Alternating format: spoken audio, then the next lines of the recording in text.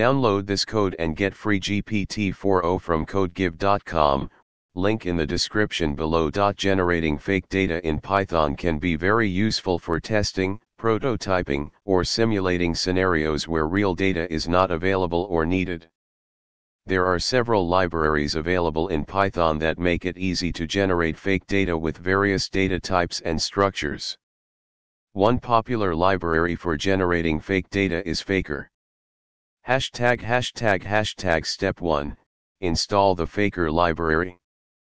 If you haven't already installed the Faker library, you can do so using pip. Hashtag hashtag hashtag step 2, import the Faker library. In your Python script, you can import the Faker library as follows. Hashtag hashtag hashtag step 3, generate fake data.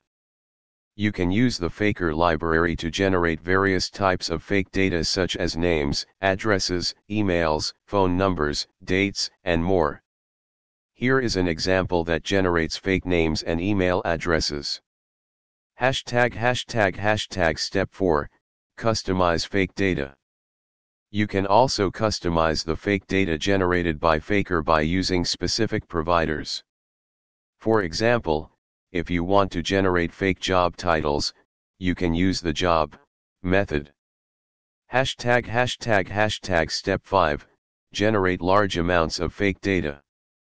If you need to generate a large amount of fake data, you can use a loop to generate multiple instances of fake data.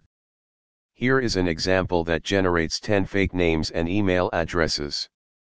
Hashtag hashtag hashtag conclusion. Generating fake data in Python can be done easily using the Faker library. By following the steps outlined in this tutorial, you can generate various types of fake data for your testing or prototyping needs.